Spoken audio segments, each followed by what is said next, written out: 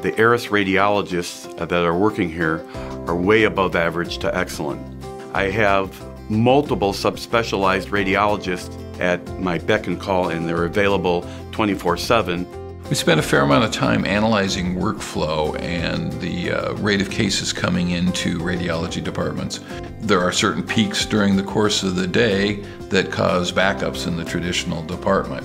Optimizing turnaround time requires a quick response to those surges and peaks more so than can be accomplished by simply putting more radiologists in the department. Um, we can handle that surge by moving those cases offline, putting them in the network that our offsite radiologists can respond to, and still maintain the turnaround time that everyone's striving to do. The Operations Support Center dispatches thousands of cases to radiologists across the country. In the event that a radiologist is tied up with a complex case, the operations support personnel have the ability to reroute that case to another radiologist to ensure that the turnaround time is met. Prior to working with Aris, our turnaround times on routine film reads was anywhere between 24 and 72 hours after the examination. Now the turnaround time is averaging 3.7 hours.